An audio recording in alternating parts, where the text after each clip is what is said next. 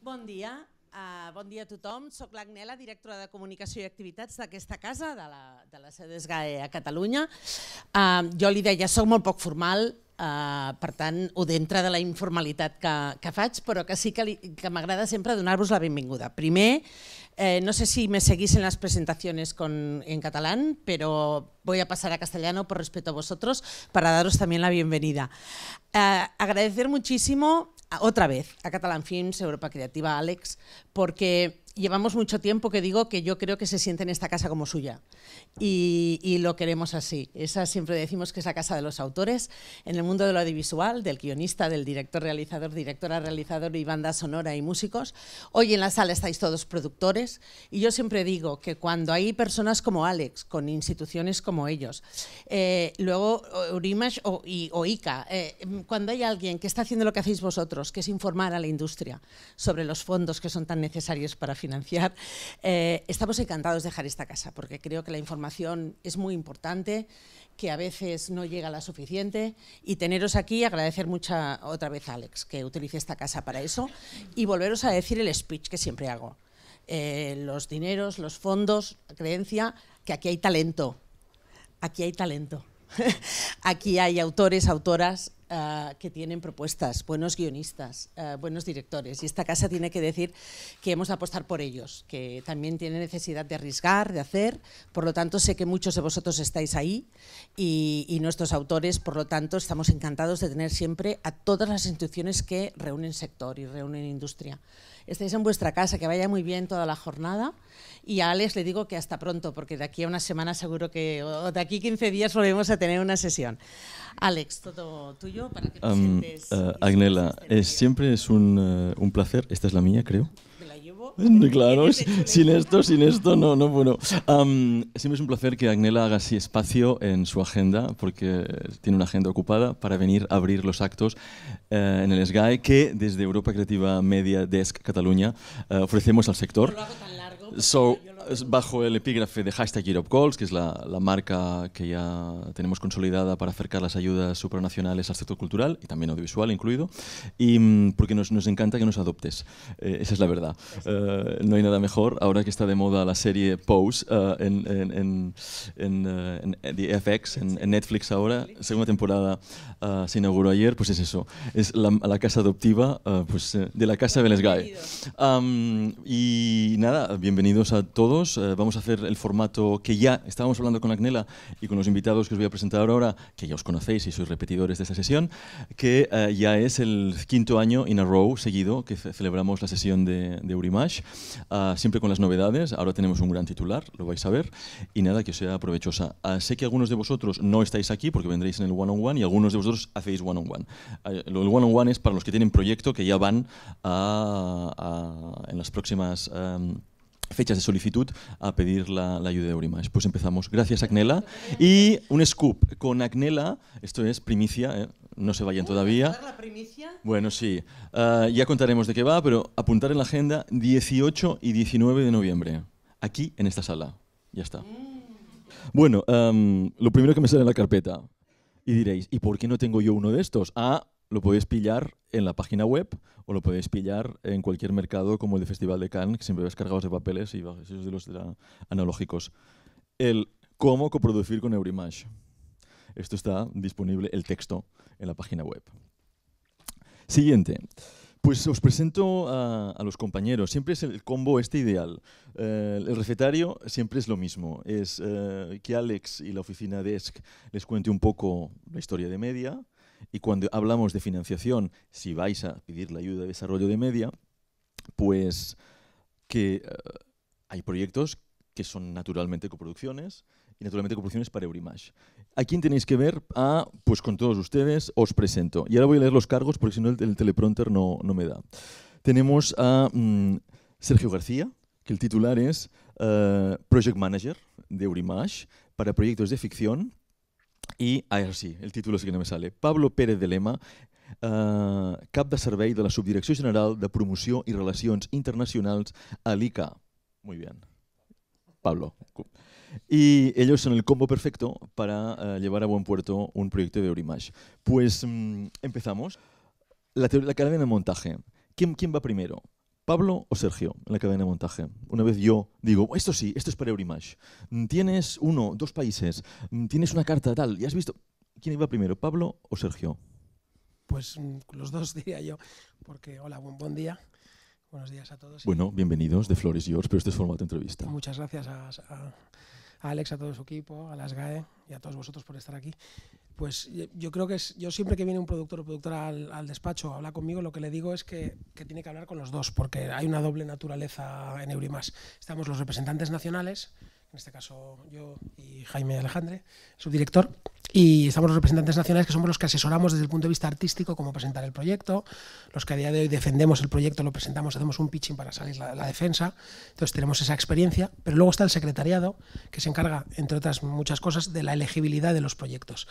Y entonces dentro de la elegibilidad de los proyectos si cumplen con las normas y demás. Entonces cuando alguien viene yo le digo que tiene que hablar conmigo y con el secretariado para que vea si la financiación de la película, las fuentes de financiación que tiene son las correctas. Y siempre le digo lo primero que hable con Sergio, tiene otros compañeros project managers que son estupendos, pero bueno, siempre digo que hable con Sergio, que es español y que conoce perfectamente las fuentes de financiación, con lo cual hay que hablar con los dos. Y hay que hablar con los dos con antelación suficiente a presentar el proyecto, porque si se hace un día antes del deadline, pues no hay tiempo de asesorar nada. Sin embargo, si se hace con el tiempo suficiente, pues sí podemos eh, pues dar nuestra opinión y yo creo que es uno de los asuntos fundamentales. ¿Cuál sería tu receta, uh, según tu punto de vista, en un early stage de un proyecto o un medium stage o un stage avanzado? Stage avanzado, por supuesto, ya para que te vieran uh, o solicitasen una visita en los diferentes mercados, es decir, Berlín, Cannes es fácil de encontrarte, a mí me pasa, uh, pero vais a muchísimos sitios, tú y tus compañeros y compañeras. ¿Cuál sería el momento justo para un early o un medium? O siempre, como siempre aconsejáis, es, siempre es bueno que sepan, por eso hacemos estas sesiones, cómo está Eurimash uh, en este momento. Yo creo que lo mejor es eh, que, nos pongáis cara, que veáis que, que, existimos. Nosotros estamos en Estrasburgo, entonces efectivamente para tener una reunión mmm, vis a vis en Estrasburgo no, no, no, no, damos reuniones, pero sí que estamos presentes en, en, todos los mercados, no solo en los principales, sino en todos los mercados con los que tenemos colaboración, festivales.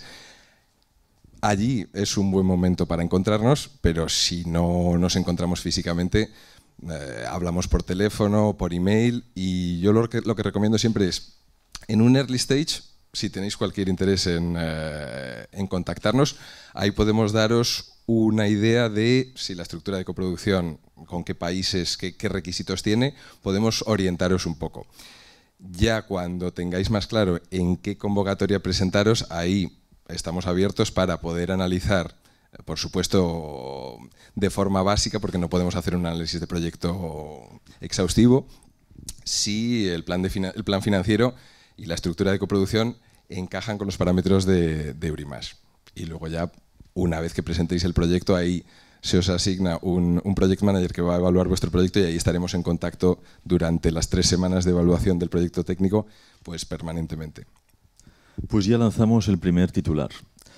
Uh, a ver si me equivoco con el número de Estados miembros uh, del programa en, en. Uh, yo ahora pondría, me lanzo, 38.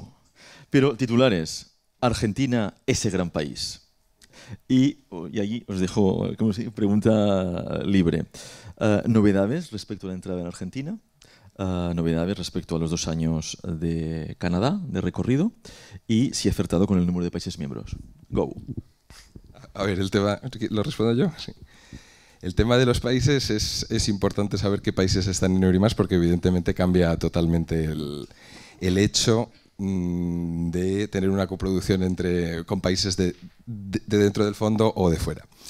Has acertado con el número de países, 38 países. Eurimas es parte del Consejo de Europa, no de la Unión Europea, y el Consejo de Europa incluye no solo a países de la Unión Europea, sino también de, eh, la gran Europa de, Europa del Este. O sea, por ejemplo, países miembros de Eurimas incluyen a Rusia, a Georgia, a Turquía, eh, Armenia. El miembro más reciente, el país miembro más reciente de, Eurimas es Montenegro, que se acaba de, incorporar este año, es el, es el 38 dentro de los países europeos, dentro de los países del Consejo de Europa. Ahora, hace unos años eh, se cambiaron los estatutos para permitir que países no europeos pudieran incorporarse al fondo, países que coproducen tradicionalmente con Europa y eh, la adhesión al fondo es voluntaria de los países, con lo cual son los países los que deben mostrar interés en, incorporarse al fondo. Canadá fue el primer país que se incorporó no europeo al fondo hace dos años. Ahora hacemos un, balance breve. Bueno, de momento el, balance que tenemos eh, es muy satisfactorio, tanto para Eurimas como para, Canadá. Ha habido ya varios proyectos canadienses eh, apoyados. Y el segundo país no europeo que se va a incorporar a Eurimas es Argentina ha sido un ah, largo proceso como el de Canadá, porque es un proceso en el que tienen que aceptar eh, el comité por unanimidad el ingreso del país no europeo y luego el comité de ministros. Es, un proceso y luego en, el país respectivo también se tienen que aprobar todas las, condiciones. Se anunció oficialmente hace unos días en Cannes y eh, a partir del 1 de octubre Argentina será miembro de, de. Con lo cual, luego hablaremos de las convocatorias. Hay cuatro convocatorias anuales. La, tercera la, cuarta convocatoria del año, la de octubre, será la primera en la que Argentina será miembro eh, de Eurimas. ¿Y en qué afecta? Pues eh, lo podemos ver también más adelante, ¿no? cuáles son eh, las diferencias entre tener una coproducción con un país no miembro, que se puede también tener, pero cumpliendo, pero sujeto a muchas, muchas otras limitaciones, o tener una, una coproducción entre países miembros. O sea, hoy por hoy, por ejemplo, una coproducción entre España y Argentina no sería válida, pero a partir de la convocatoria de octubre, una vez que Argentina haya entrado, ya es eh, elegible para Eurimas. Yo creo que la primera distinción importantísima sobre Eurimas es que hay mucha gente que no sé por qué asocia Eurimas con la UE como media. Y no, al ser el Consejo de Europa es bastante más amplio y eso hace que las posibilidades de coproducir sean bastante más amplias porque hay muchísimos países y subiendo. Ahora hay 38 más 1, 39, Argentina va a ser el 40, va a entrar Ucrania, hay otros países que no son del Consejo de Europa que también están interesados, con lo cual las posibilidades de coproducir son muchas. Y además, como son complementarios los, los programas, que es la segunda idea, aparte de que no es de la UE, sino del Consejo de Europa, es decir, que el programa puedes tener ayuda del programa Media y del programa de Eurimas, incluso de Ibermedia también. O sea, en función de la estructura de la coproducción que tengáis, podéis solicitar ayuda, no es que la vayáis a obtener, porque no es fácil obtener ayuda de todos, pero que vuestro proyecto va a tener opciones de tener tanto ayudas de media, como de Urimas, como de IDB Media y de otros sitios, y yo creo que las posibilidades son, son muy interesantes. Tú que vives en el ICA, y te hago un... Trabajo. Sí, sí.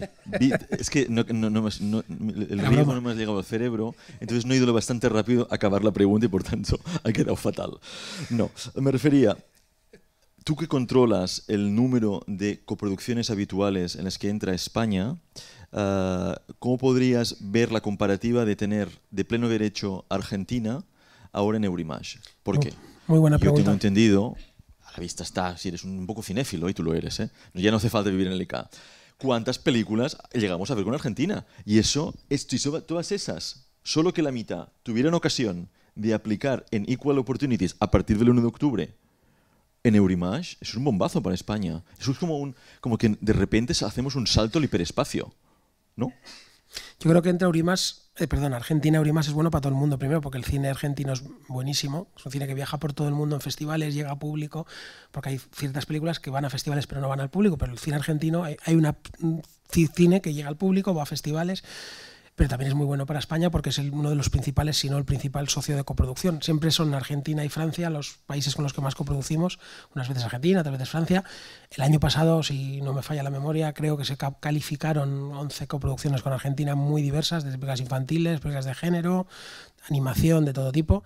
Y, y que entre Argentina de socio de pleno derecho no es socio de pleno derecho, es Estado miembro asociado, pero que, nos valga para coproducir con, con, Argentina, es muy importante porque todos esos proyectos que sean bilaterales España-Argentina o España y otro miembro más Argentina van a poder ser elegibles directamente, va a aumentar el número de posibilidades de que proyectos de calidad sean apoyados. Anteriormente ya ha habido proyectos que cuentan con Argentina con el apoyo, porque hay otros dos miembros de Eurimas que forman parte de la coproducción. Os voy a poner tres ejemplos. Eh, y igual Sergio se le ocurre algún otro, o corrígeme si me equivoco, porque lo digo de memoria. 100 años de perdón. Es una coproducción España, Francia y Argentina. Argentina era menos del 30%, España y Francia forman parte de Eurimas Pues por lo tanto, como veremos luego con las criterios de elegibilidad, es elegible porque tienes mínimo dos países del fondo, hay uno que es tercero, el, el, productor argentino no recibe el dinero, sino los otros dos, pero se beneficia. Luego ya es una película que contaba con Argentina que tuvo ayuda. Ha habido otras como La Noche de 12 años, que es también España, Argentina, Francia, o el mismo esquema, hace muchos años todos tenemos un plan, pero era muy de vez en cuando, pues recuerdo tres, cuatro películas en los últimos, yo llevo 10 años en, el ICA, representando a España en Urimas, pues tres películas, cuatro películas que han recibido apoyo, que está fenomenal, pero es que ahora va a haber, mm, si todo va bien, ese número de películas al año que se presenten, o más se supone, mm, si se presentan y se animan y ya nos han puesto en contacto con nosotros y con el secretariado, luego multiplica por mucho, por muchos números, las posibilidades de que películas con producciones con Argentina sean apoyados. Es una muy buena noticia. Pues sí, Yo creo que llegado el caso ya podemos decir, el Eurimas eh, apoya coproducciones entre al menos dos países miembros. Eh, esa, eh, ibas a eso. Lo dejamos por el final, pero es, es, es, vale, no, es que como, estamos ya, hablando de esto, yo creo, yo creo que a lo mejor es, es mejor decirlo ya porque a veces hay esa confusión. hace muchos años en Eurimas hacía falta en uno de los esquemas que hubiera una coproducción a mínimo tres países. No es el caso desde hace muchos, desde hace muchos años. Entonces, Eurimas apoya coproducciones entre dos países miembros del fondo. Cuando Argentina no ha sido miembro del fondo, para que se apoyara una coproducción tenía que haber al menos dos países, como los ejemplos que, comenta Pablo, en este caso era España, Francia y Argentina. Y además los países no miembros del fondo tenían otra limitación, que es que el máximo de financiación que podían aportar al proyecto era el 30%. Entonces eso hace de facto que los países no miembros del fondo pues, eh, se apoyan coproducciones de vez en cuando, pero es mucho más complejo. Um, y me lleva a esa pregunta. Y una coproducción entre Argentina y Canadá no es posible. Únicamente. Efectivamente. Hay dos pequeños, eh, pequeñas diferencias en, eh, en, la adhesión de Argentina frente al resto de países miembros. Una es a nivel eh, político, pero a nivel de práctico de productores, la única diferencia es que para hay una hay una regla que obliga a que en las coproducciones apoyadas de Eurimas tiene que haber al menos un país miembro del Consejo de Europa. Entonces, en este caso, coproducción Argentina-Canadá no es elegible si entrara otro país en el futuro eh, no miembro del Consejo de Europa, las coproducciones entre esos países no serían eh, elegibles. Pues empezamos ya con la mecánica. El Who's Who en Eurimash, um, háblanos del secretariado, el Board of Management, eh, un poco cuál es el, los, el cast del programa. Eso también es importante porque aunque... El who's es importante. Hemos abierto con eso para diferenciar cuál es el rol de Pablo, y cuál, es, cuál es mi rol, efectivamente. Yo estoy físicamente en Estrasburgo, es donde tenemos el secretariado de, de Urimas y nosotros llevamos el día a día de la gestión del fondo. Entonces tenemos dos eh, funciones principales. Por un lado, hacemos en la elegibilidad de los proyectos, cuando se presentan los proyectos en cada convocatoria, hacemos el primer análisis, el análisis, un análisis técnico, legal, financiero, y determinamos qué proyectos son elegibles para ser luego evaluados y qué proyectos no son elegibles. Eso es una primera función. Y luego, entre los proyectos apoyados, estamos en contacto con los productores para la firma del contrato, el, eh, el desembolso de la ayuda, que exige unas condiciones, y luego, también lo diremos más adelante, supongo la ayuda, bueno, ya lo has comentado tú, la ayuda de Urimas es un préstamo, un préstamo blando, reembolsable en condiciones muy favorables. No lo he dicho, se lo susurraba Agnela ah, a la entrada. Porque tengo, pues tengo, tengo, el speedy boarding, que son las dos columnas, entre media y Urimas. Sí, sí. Pues, Una pues se devuelve y la otra no. Pues es, ese es un dato también importante, efectivamente. Es ese, el, el préstamo de Urimas se devuelve, luego explicaremos con detalle si queréis eh, cómo, si la película va bien. Si la película no va bien, eh, eh, no es, eh, vamos, no queremos poner la soga al cuello a los productores, pero si la película va bien, consideramos que es lógico y es de justicia repartir los beneficios para apoyar futuros proyectos. Entonces, hacemos todo ese seguimiento de los pagos y luego de los, de los reembolsos.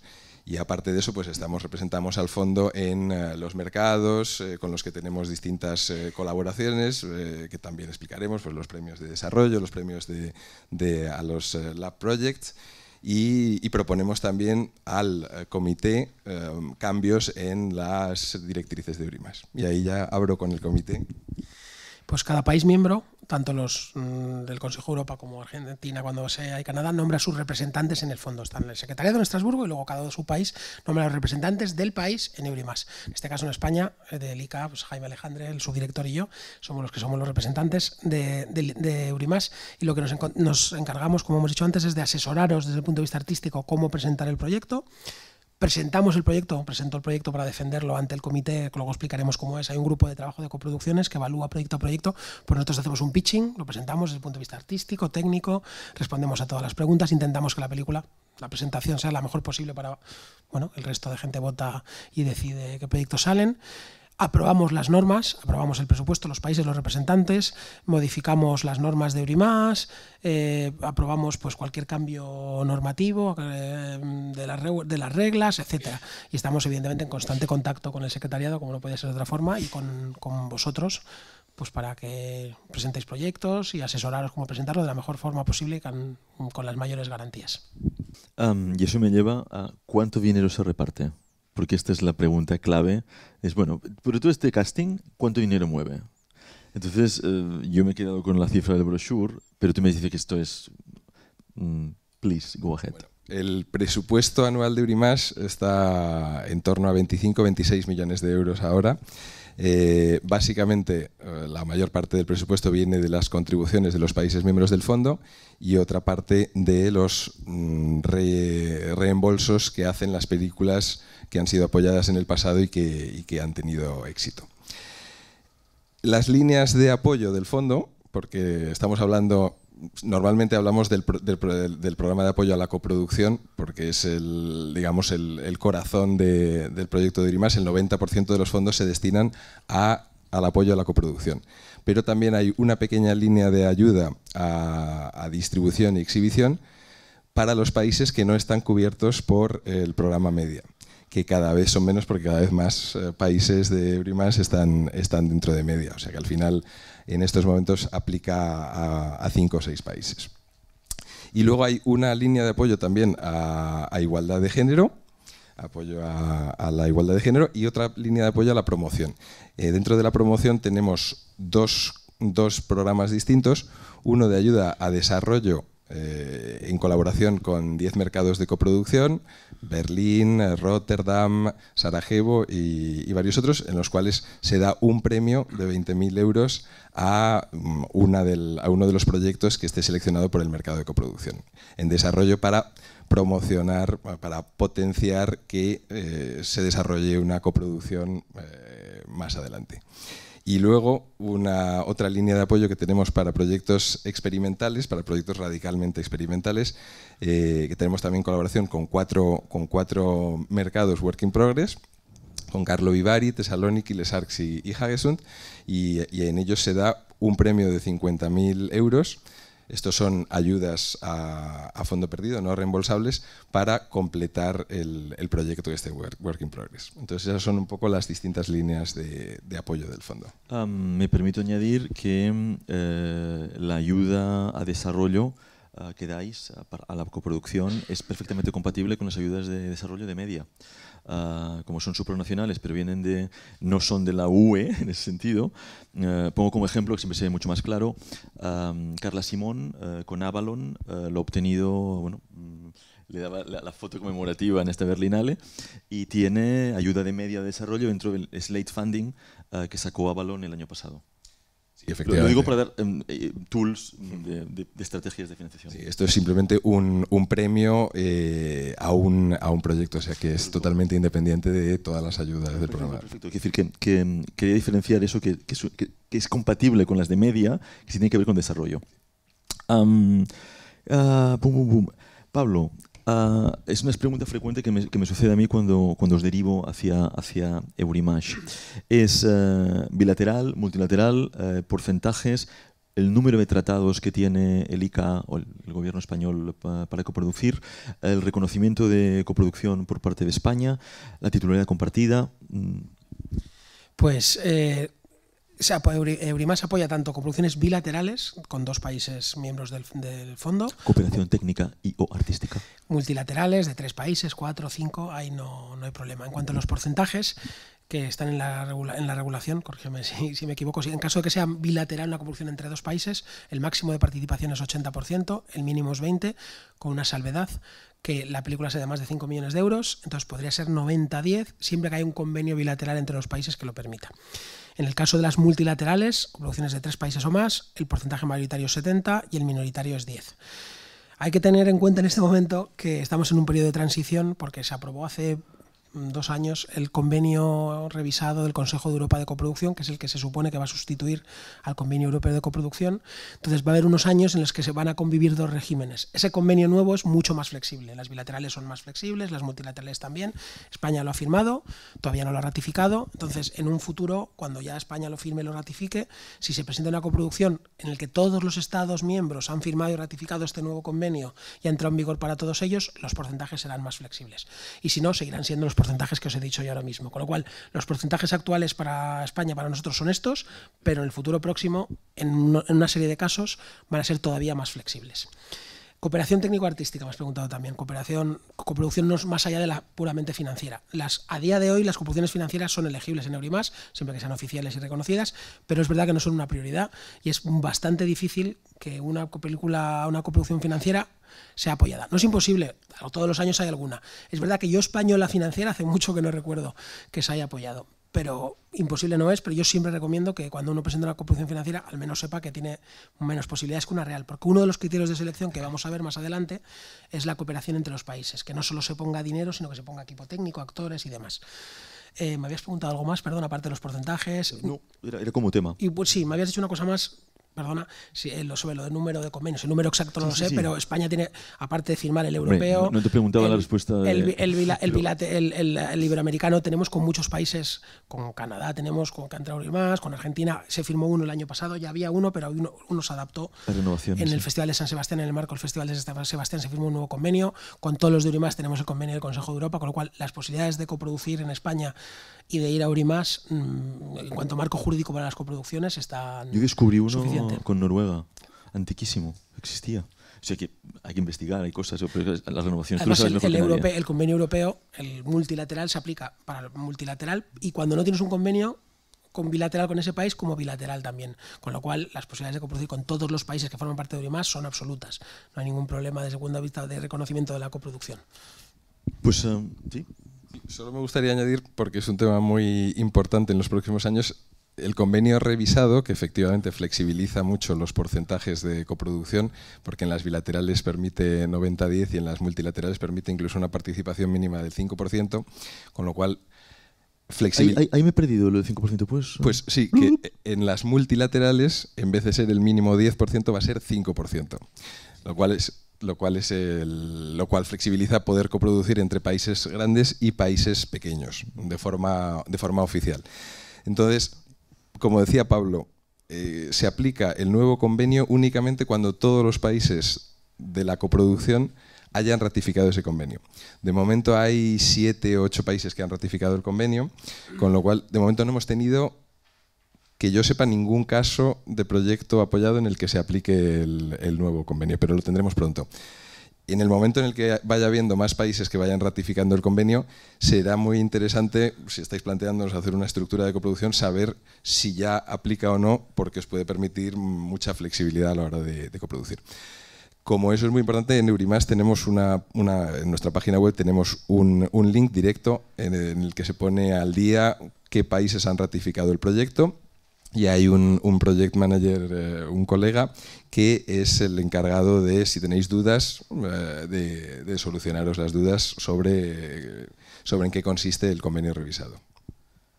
Pues mm, pasamos ya a criterios de admisibilidad, elegibilidad.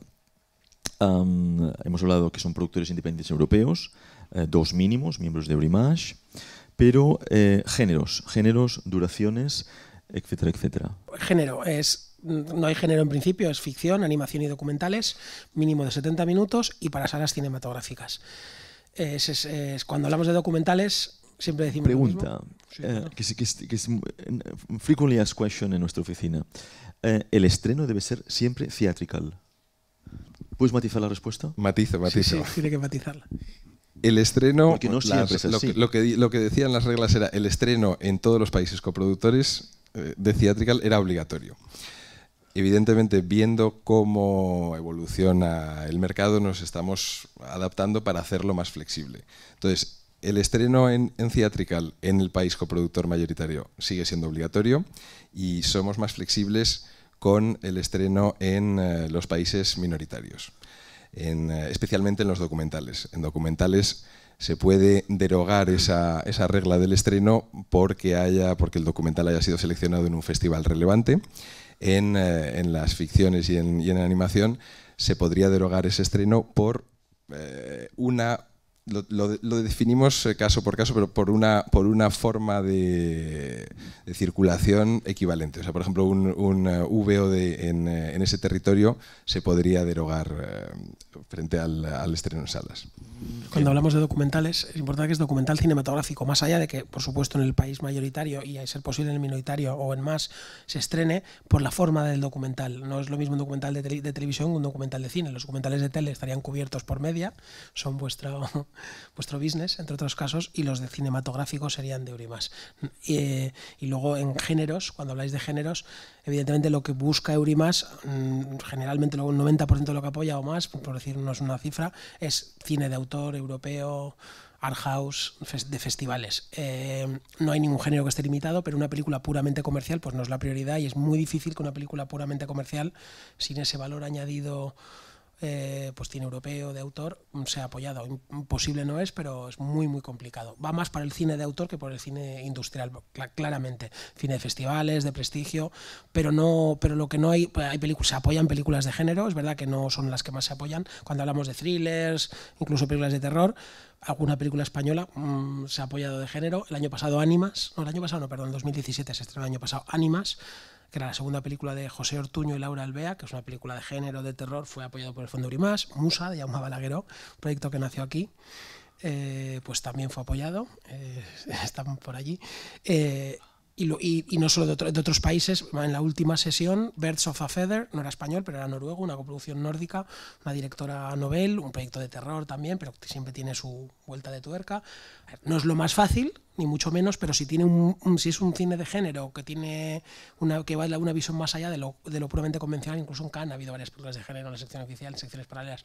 Se trata de películas que sean diferentes, originales, básicamente de autor. El género no se limita, pero pero una comedia simplemente romántica tradicional pues sería difícil, pero prohibida así de entrada no está. Sí, yo creo, añadiendo a lo, a lo que dice Pablo, el fondo Eurimas fue creado, eh, por un lado, para promocionar la cooperación internacional entre países, pero es un fondo cultural y efectivamente lo que, lo que da es prioridad a nuevas formas de expresión, a películas que a lo mejor tengan más dificultades a conseguir la financiación que las puramente comerciales. Dicho esto, evidentemente, en las películas de género, por ejemplo, ahora hay muchísima innovación y en la última convocatoria, aparte de Best of Feder, se, apoyaron otras películas de, género como Lamb, eh, eh, la película de Skill Fox, que es el, que es el eh, co, co- co-guionista de, Joachim Trier, o sea que se, han apoyado muchas películas de género últimamente. Y se me ha escapado un- una idea que quería decir sobre los objetivos de- del fondo, pero bueno, ya, volverá.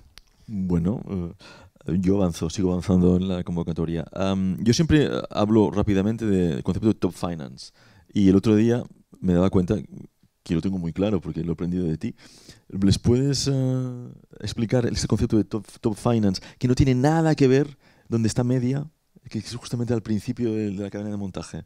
Vosotros vais al final. Am, y, y- nos explicas precisamente como Top Finance los requisitos que cada coproductor debe aportar cuando se presenta un Eurimage. Bueno, podéis intervenir los dos, ¿eh? Que porque tú también repasas todo eso. La, la estructura financiera. Efectivamente, es una, eh, es, es una pregunta muy importante. Lo primero es saber qué requisitos se piden eh, para poder ser elegible en Eurimash. Entonces, ya hemos hablado de la estructura de coproducción que tiene que tener al menos una coproducción entre dos países miembros. Y en cuanto a financiación, hace falta tener dos requisitos básicos. Por un lado, el, al, mínimo, al menos el 50% de financiación confirmada en cada país coproductor, mínimo, pero idealmente más, y tener al menos uno de lo que, una fuente de financiación de las que llamamos elegibles confirmadas, que son o bien ayuda pública en, eh, el país, o bien un mínimo garantizado de distribución eh, nacional, o bien tax shelter si lo hay en el, en el país, o una preventa a televisión o VOD. Entonces, se puede complementar la financiación entre fuentes de financiación de las que llamamos elegibles y fuentes de las que podríamos decir otras fuentes de financiación, como puede ser la eh, inversión propia eh, o todos los deferrals o, cualquier tipo de in-kind. Los deferrals y el in-kind están limitados a un máximo del 15% de la financiación del proyecto. Y esas son un poco eh, las reglas básicas en términos de elegibilidad desde el punto de vista financiero. ese 50% lo digo para diferenciarlo de media, eh, nunca debe ser siempre de fuentes terceras, no, no cuenta el dinero propio, ¿es así? No, no, para el 50% sí cuenta el dinero propio. O sea que, debe, haber al menos eh, por eh, esos elementos. Efectivamente, por poner un ejemplo, no se podría tener en un país únicamente financiación con inversión propia o con un equity, pero si desde el momento en el que se tenga, por ejemplo, pues un mínimo garantizado de distribución en ese país, eh, aunque solo cubra el 10% de la financiación en ese país, se podría complementar con una inversión privada o con inversión propia o con otras fuentes de financiación. Y luego, muy importante, en el concepto, aunque ya estamos entrando en mucho detalle y eso lo podemos ver luego con casos eh, concretos, pero hace falta tener el 50% de la, de la, financiación confirmada sobre un plan financiero en el que la ayuda solicitada de Urimas esté incluida. O sea que a veces eh, recibimos planes financieros en los que se llega al 50% excluyendo lo que se pide a Eurimas, con lo cual en realidad es menos del 50%. Y entonces no sería elegible. Además, como, bien ha dicho, el 50% es a día de hoy para ser elegible. Es decir, si tú presentas un proyecto en el que España, una coproducción España-Francia, España-Argentina en el futuro, y tienes un 50% en España y un 50% en el país coproductor, es muy complicado que se te apoye.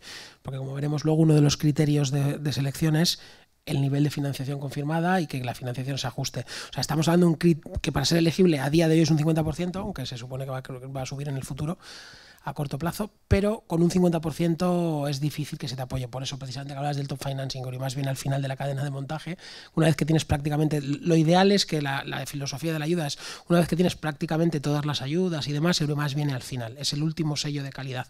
Con lo cual es mejor no adelantarse, que lo hablaremos luego, y presentarlo en la convocatoria que esté más hecho el proyecto, presentamos luego, pero el 50% creo es un mínimo, mínimo, mínimo para ser elegible, pero las posibilidades de que te apoyen con un 50, imposible no es, hay casos, ¿eh? pero, pero no son la mayoría. europeidad. Media, eh, lógicamente, está obsesionada siempre con la europeidad. No se niega la temática de contenidos, nunca. Siempre, siempre lo explicamos, es decir, puedes tratar la temática que tú quieres, pero la línea editorial debe tener una IP europea claro, como están en fase de desarrollo, siempre es europeo, porque lo pide un europeo. Al intervenir potencialmente un coproductor que no es europeo, la, la multilateral con países invitados, hace que la arquitectura, la europeidad, se pueda diluir un poco. En media hay una escala de puntos, que el tope son 19, y siempre es, independientemente del género documental, eh, ficción o animación, 11 sobre 19. Prácticamente todos son europeos pero hay alguna fase de riesgo. Uh, Match Point, por ejemplo, película europea, podría estar en riesgo porque lo que puntúa más es el director, el guionista y el actor principal. Entonces tienes Scarlett Johansson y Woody Allen, vale por dos, rápidamente de los 19 te comes como 6 o 7 que te baja la europeidad. Es un ejemplo. ¿Cuál es vuestra escala de puntos que en cada género difiere y que, lógicamente, debéis verificar para mantener la europeidad de los proyectos candidatos? Um, tenéis muchos problemas con ello, ¿Hay problemas de elegibilidad? No, no, los, no los suele haber. Eh, hay una escala de puntos, efectivamente, que está definida en función de si el proyecto es de ficción, de animación, de documental. Por, eh, por poner el ejemplo de, sin, sin, detallarme, porque está, está en las bases y porque viene... barra uh, Canadá-Argentina. Ese es un, tema. Para empezar, ahora la escala de puntos es elementos artísticos miembros del Consejo de Europa y o de Eurimash. Entonces, por ejemplo, incluso un país, esto no lo hemos hablado, pero bueno, eh, dentro de, los europeos, el Reino Unido no forma parte de Eurimas, es la, gran excepción. Sin embargo, a nivel eh, del sistema de puntos artísticos sí contaría, porque es parte del Consejo, del Consejo de Europa. Entonces, hace falta, en el caso de ficción, hace falta tener 15 puntos sobre 19. Los puntos se, dan 3 al director, 2 al guionista, 1 al compositor, 3 al, al, protagonista, 2 eh, y 1 al, segundo y tercer eh, papel, y luego en función de, eh, los jefes de equipo y de, del, rodaje y de la postproducción. ¿Qué pasa? Si no se llega al mínimo de puntos, Eurimas permite eh, una derogación. Siempre que los países implicados, las autoridades de los países implicados en la coproducción, acepten esa derogación. O sea que lo que hacemos de facto es, eh, por un lado, mm, sí velamos por la europeidad, pero consideramos que al final son las autoridades nacionales las que lo van a determinar. Eurimas cambió hace ya tiempo el criterio, el requisito de que los directores tuvieran que ser miembros de países del fondo, entonces mm, un director puede ser de un país no miembro del fondo. Y de hecho se han apoyado proyectos que han llegado a tener pues 7 o 8 puntos frente a 19 porque eh, los países implicados han, decidido reconocer esos, eh, esas coproducciones como propias. en cuanto a la europeidad, que ya bueno, es una palabra que ya creo que hemos desterrado las bases, pero de Eurimas, de las historias, se apoyan historias que transcurren en todas las partes del mundo, en Afganistán, en África, en Estados Unidos, en Canadá, en Sudamérica. Se trata más de dónde transcurren, sino el tipo de cine que estamos hablando, un cine de más autoral, de apoyo a los autores, de, que es una perspectiva diferente. da igual dónde transcurre la historia, no tiene por qué transcurrir en, en, Europa, ni muchísimo menos en ningún país miembro. Hay muchísimos ejemplos de películas nuestras y de muchos otros compañeros de otros países que transcurren, ya te digo, en Afganistán, en Siria, donde sea. O sea que ese no es un problema cadena de montaje en cuanto el proyecto se recibe en Eurimage. ¿Cómo funciona la evaluación, el secretariado, eh, hasta que realmente eh, tenemos los proyectos elegibles que van a panel? Mm, ¿Cómo funciona? ¿Cuál es esa, operativa? A mí siempre me preguntan cuál es la operativa cuando se recibe online el, proyecto. Yo siempre se lo cuento, ¿no? Los expertos, pum, pum, el sí, el no. Pero es muy diferente. En Eurimage es eh, como, como mm, tú eres nuestro embajador para los españoles, funciona de manera diferente. Si podéis un poco explicarles esa, esa cocina. Muy bien. Sí, pues em, lo primero a saber es que hay cuatro convocatorias anuales. Las fechas de las cuatro convocatorias anuales son prácticamente fijas de año en año, se publican con mucha antelación en, nuestra página web y básicamente son, la primera convocatoria es en enero y la, la resolución, el comité donde se decide qué proyectos son apoyados es en marzo. La segunda es en abril, con la decisión en junio. La tercera es a finales de agosto, con la decisión en octubre. Y la cuarta es inmediatamente después, en octubre, con la decisión en diciembre. El, eh, eh, el, sistema de presentación de proyectos es ahora online, 100%, eh, y el proceso de selección dura siete semanas. únicamente en la, en la convocatoria actual en la que estamos son ocho. Eh, porque está CAN de por medio y se, y se permite un poco más de, duración. Son siete semanas en las cuales es un proceso de dos fases. la primera fase es lo que hablábamos, la, elegibilidad del proyecto, son las primeras tres semanas. Entonces, desde el momento en el que hayáis presentado el, proyecto, se cierra la convocatoria. Muy importante ahí saber que la, la, convocatoria se cierra un día determinado a una hora, que son las seis de la tarde, hora de Francia, y, a partir de ahí, si no se ha presentado el proyecto, no hay ninguna posibilidad de presentarlo fuera de, fuera de fecha. O sea, la, fecha límite es muy, muy estricta. Con lo cual recomendamos siempre no apurar hasta el último momento por si hubiera cualquier, eh, cualquier cuestión técnica. Una vez que se ha presentado el proyecto, eh, al día siguiente o a los dos días ya recibiréis una, un email del el project manager que se encargue de vuestro proyecto eh, diciendo que en las próximas tres semanas pidiendo disponibilidad porque vamos a estar en contacto con vosotros para cualquier, aclarar cualquier duda que pueda haber sobre el análisis del proyecto. Y en esas tres semanas hacemos el análisis del proyecto para ver la, elegibilidad. Si tenemos dudas sobre la documentación presentada, la, comentamos con los productores. Y si un proyecto no es elegible, más o menos el 10-15% de proyectos no son elegibles, se retira de la convocatoria y tiene la posibilidad de volver a presentarse una vez más, únicamente una vez más, en una futura convocatoria, siempre que los requisitos eh, a nivel de inicio de rodaje, que también lo comentaremos, eh, se respeten más adelante. Si el proyecto es elegible, pasamos a la, segunda, a la segunda fase, ya va a ser evaluado y ahí solo va a ser evaluado una vez. O es elegido o no es elegido, pero ya no tiene posibilidad de volver a aplicar una, una siguiente convocatoria. Y por el, en cuanto a la segunda fase, una vez hecho el análisis eh, técnico, financiero, legal de, los, eh, del secretariado, hacemos un análisis externo por, eh, por unos lectores, que son gente de la industria, dos lectores por cada proyecto, y con el análisis de los lectores y el análisis del secretariado y todos los materiales que, se han presentado del proyecto, todo el dossier del proyecto, se envía a los representantes nacionales. Pues una vez que el proyecto es elegible, y hay cuatro reuniones al año, como ha dicho Sergio, eh, como es absolutamente imposible que los proyectos se evalúen en condiciones en una sala con 40 países, o 39 o 38, se crea lo que se llama un grupo de trabajo de coproducciones. Es decir, todos los países, todos los que estamos más miembros, una vez cada tres reuniones nos toca no solo defender los proyectos en los que participamos, sino evaluarlos de los demás. Y cuando digo evaluar me refiero a todo, leer absolutamente con sinopsis, de nota del director o directora, productor o productora, guion, todo el material artístico, todo el material financiero, películas previas, los análisis de los analistas. Y con toda esa información aplicamos los criterios de selección, que luego veremos cuáles son. Y la siguiente pregunta.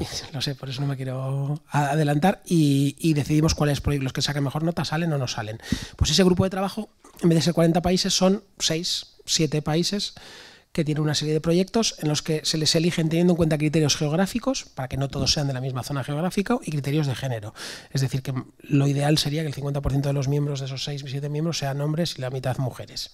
Entonces, ese grupo de trabajo de coproducción pues, tiene un, un presupuesto asignado y unos proyectos asignados que los que tiene que evaluar, mm, como os he dicho, mirando absolutamente todo al detalle. Eh, una pregunta que la gente hace es cuál es la eh, sobre el dinero. Se trata de dividir el dinero a lo largo del año de forma no entre cuatro, sino en forma proporcional al número de proyectos que hay. Es decir, da igual cuando presentáis el proyecto, que matemáticamente lo que se intenta es que el proyecto tenga absolutamente las mismas oportunidades, lo presentéis a principios de año, a mitad o a final. Ahora en la convocatoria que ahora vamos a ver en junio, que fue en abril y, la, y lo se resuelve en junio, hay bastantes más proyectos por lo general, porque la gente suele rodar en verano, pero también hay más dinero. Con lo cual, matemáticamente da igual que el proyecto lo presentéis en marzo, en abril, en agosto, en octubre, porque lo que se intenta y se consigue casi, casi eso lo hace el secretariado con unas fórmulas que tiene estupendas y tal, casi casi al céntimo, que matemáticamente al menos las posibilidades sean las mismas. Bueno, pues una vez, ¿cómo, cómo funciona el proceso de cómo se selecciona? Pues las cuatro semanas antes, si me toca a mí en el grupo de trabajo, cuando me toque, que no se puede saber, pues estoy tres, cuatro semanas ahí encerrado estudiándome absolutamente todos los proyectos y luego nos reunimos durante tres o cuatro días esos países y para cada proyecto hay aproximadamente 25 minutos. Hay una lista si hay un, grupo tiene 30 proyectos, por deciros algo, pues a las 9 uno, a las 9.25 otro, a las 9.50 tenemos una lista de cuál es cuándo toca cada proyecto. Entonces, si, si, a las 9 hay un proyecto, entran los representantes del país de la coproducción. Os voy a poner un ejemplo. Coproducción España, Argentina. Pues entraría yo con los representantes argentinos. Entramos al grupo de trabajo de coproducción, es como si fuera un examen. Hay seis personas, hay gente del secretariado, y el secretariado empieza en esos 25 minutos haciendo un análisis muy breve resumen del punto de vista financiero. Pues es una coproducción España-Argentina 80-20, cuenta con ayuda pública en España, televisión española, distribución, tal. Y, y lo mismo sobre Argentina. Una vez que han terminado, el representante del país mayoritario hace un pitching, presenta el proyecto. Las regulaciones dice tres minutos, pero bueno, no es que estén con un reloj de arena y el de tres minutos te corten, pero no te puedes tirar diez minutos. Suele ser tres, cuatro, cinco minutos en los que hacemos una presentación de todo tipo. Pues este es el proyecto, está presentado, la dirige no sé quién, pues mm, hablas de criterios artísticos, de criterios de producción y haces un cierre. Una vez que hemos acabado con el pitching, cada uno de los miembros del jurado, del comité del grupo de trabajo de coproducción, tiene que dar su opinión y hacer las preguntas que considera eh, oportunos. Y son preguntar, o sea, no, la gente no dice no me gusta porque sí, da una explicación, habla del guion, de la financiación, de las posibilidades de producción de la película, de distribución, habla de todo. Entonces, en ese momento no contestamos, estamos escuchando las preguntas y una vez que todos han hablado, porque todos tienen que hablar, cerramos contestando a todas las preguntas que nos hayan hecho. Todo ese proceso en 25 minutos. Una vez que acaban esos 25 minutos, nos vamos y ese grupo de trabajo vota. Cada miembro vota del 1 al 10 es un voto que en ese momento tú no sabes lo que está votando. Tú has oído a tu compañero si le ha gustado o no, pero no sabes si le da un 8, un 9, un 10. No tenemos una escala. Y al final, cuando se han debatido todos, aquellos proyectos que tienen la nota más alta son los que se llevan el dinero hasta que se acabe el dinero. Va de arriba abajo. Pues este ha tenido un 10, este un 9,8, 9,7, 9,3, 9,5, 9,3, hasta que se acabe el dinero. La, nota suele ser, o me varía de sesión a sesión, pero suele ser bastante alta. Va desde un 7,8 hasta ha habido alguna sesión que con un 9 no, no han sido apoyados. Suele ser de 8 y pico para arriba, generalmente, los proyectos que se suelen llevar el dinero. Y puede ser también, aunque eso se entre en mucho detalle, puede ser que pues vas acabando el dinero y al final haya tres proyectos que están empatados, tienen la misma puntuación, un 8,3. Y ya, como te has gastado el dinero, solo queda dinero para uno o para dos. Bueno, pues en caso de empate, una de las novedades, para, mm, ya llevamos un año y medio, dos años, para fomentar la igualdad de género, en caso de empate, eh, si la película está dirigida o codirigida por una mujer, tienen preferencia. Es decir, si hay tres películas y una de ellas está dirigida por una mujer, se llevará el dinero. Si fueran dos dirigidas por una mujer, entre ellas dos. Y si fueran las tres, pues a prorata. Y si no hubiera ninguna, pues sería a prorata también. Dirección, ¿eh? Dirección. Para ese, ese caso en concreto de igualdad de puntos, es decir, eh, que, que no es infrecuente que pase. Porque hay muchos proyectos, la gente vota y a veces hay tres proyectos con un 8,33 o con un 9 o con un 7,85. Entonces, el, el, criterio que tenemos, porque a día de hoy están infrarrepresentadas las películas dirigidas por mujeres, tenemos un objetivo del año que viene del 50-50 by 2020, como se dice, llegar a un 50% de distribución entre hombres y mujeres. No sé si estamos en alrededor de un 40, bueno, cada, viene la página web de Urimas y en cada sesión viene. Eh, pues para intentar conseguir ese objetivo, en caso de igualdad de puntos, película dirigida o codirigida por una mujer. Eso enlaza con la siguiente pregunta. Um, lectores independientes. Uh, eso evidentemente es un listado confidencial. Uh, en media hay una, una base de datos uh, donde cualquier profesional puede, en Europa Creativa, Europa Cultura, Europa Creativa Media, en todas sus líneas, deposita su currículum vitae y entonces hasta finales de 2020, y ahora ya saldrá la lista hasta finales de 2027, mm, te sacan del bombo y te piden como experto. También es confidencial, no puedes tener asesorar proyectos del mismo país, no puedes tener intereses. Um, ¿Cuál es el criterio para nu nutrirse de los lectores independientes. Tenéis una base de datos uh, variada uh, de diferentes países, uh, cuáles son las categorías, um, sin, sin, sin, sin, sin dar nombres, ¿cuál es la mecánica? Porque es una, una frequently question en media respecto al ratio de resultados. Es decir, al final siempre el usuario dice, bueno, ¿por qué yo he salido? ¿O por qué he salido más justo? ¿O por qué no he salido? ¿O por qué no me lo merecía? No me lo merecía. Con la escala de puntos cuando el dinero se acaba, ¿no? Pero siempre al final va a parar la misma primera pregunta, es, ¿quién me está juzgando? Lo primero, dos detalles muy importantes que son diferentes en Eurimax que en media, eh, sobre el papel de los lectores. Los lectores eh, en Eurimax eh, hacen un análisis desde, estrictamente desde el punto de vista del guion, del y de los materiales audiovisuales complementarios, pero no hacen un análisis integral del, proyecto, no tratan sobre la financiación ni sobre otros aspectos. Eso es muy importante. Y luego, segundo aspecto también muy importante, la evaluación de los lectores en Eurimas es eh, puramente, eh, sirve puramente de referencia para los eh, representantes del grupo de trabajo. O sea, no es, eh, no es más que una indicación puede servir de guía en algunos proyectos para, pues, pues, pues para ver si la comprensión, por ejemplo, ha sido la misma o para ver una, tener una, una, segunda opinión, pero no tiene más, eh, más, más, más valor que, que, ese. O sea, esos son dos, dos puntos muy importantes. Dicho eso, por supuesto, es, consideramos muy importante el análisis de los lectores y la selección la hacemos en base a que sean profesionales de la industria. Tratamos de que estén repartidos los distintos ámbitos, entonces tenemos lectores que son programadores de festivales, lectores que son script doctors, lectores que pueden ser ejecutivos de televisión, eh, distribuidores, pro productores, directores, o sea que tenemos una base muy amplia. Tratamos de tener también una diversidad eh, geográfica, eh, estamos intentando que sea equilibrado 50-50 en cuanto a hombres y mujeres, porque aquí lo que nos pasa es lo contrario.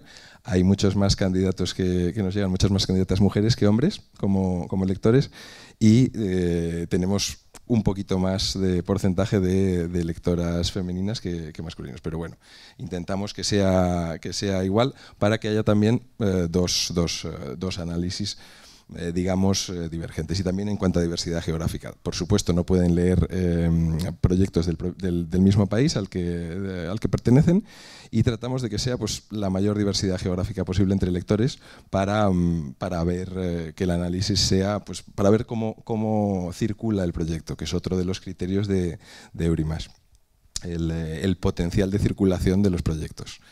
No necesariamente tiene que ser un potencial de circulación estrictamente comercial, porque Eurimas es un fondo cultural, pero puede ser potencial de circulación a nivel de festivales, por ejemplo. Um, ahora pues estamos en timeline de, de, producción. ¿Cuándo se puede empezar a rodar?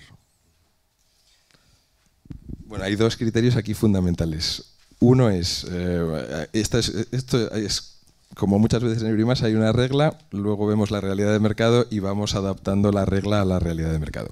La regla dice que el rodaje tiene que iniciarse después, una vez eh, que se haya dado la decisión del proyecto. Eh, o sea, técnicamente no se podría iniciar rodaje antes de conocer la decisión. Eh, entonces, en una convocatoria, por ejemplo, como la actual, la fecha límite era abril, la decisión es el veintitantos de junio, el rodaje debería técnicamente empezar después de, esa fecha. Sobre esa regla se permite una derogación que es, se puede iniciar el rodaje antes con un máximo del 50% a día de la fecha de inicio de la reunión de comité. Y en el caso de los documentales hay más flexibilidad y puede ser hasta el 80%, por la forma en la que los documentales se empiezan, eh, se empiezan muchas veces a rodar, luego la estructura de coproducción internacional viene más adelante.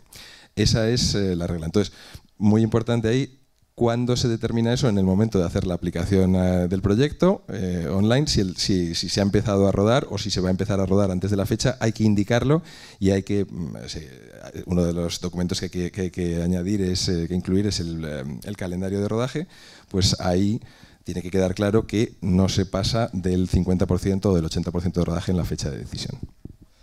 Es, es, muy importante lo que está diciendo Sergio porque ha habido algún problema puntual. Os iba a preguntar por el uso y abuso del, de, la, de, la, de, la, excepción sobre la regla. Hay que, hay, que, hay que justificarlo y hay que pedirlo con antelación porque ha habido algún caso de gente que, por lo que sea, iba a rodar después y, bueno, como ha pensado, bueno, como puedo rodar el 50% sin justificarlo, ha empezado a rodar y ha sido declarado inelegible. Por confusión, no porque lo hayan hecho ni muchísimo menos, porque con cosas que pasan, crees que puedes rodar el 50%, es una cosa que es una excepción. Si la justificas y lo solicitas, se concede, como bien nos dice Sergio, pero hay que solicitarlo y hay que explicar por qué. Y que, eh, la regla dice que con carácter previo a presentar el proyecto. Cualquier cambio que haya sobre eso, pues hay que hablarlo también, hay que justificarlo y antes de hacer nada hay que solicitar el cambio si es posible, porque estamos hablando de un tema de elegibilidad. No, de selección, sino que si, si se incumple, pues ni siquiera seríamos elegibles para discutir. Y es muy importante.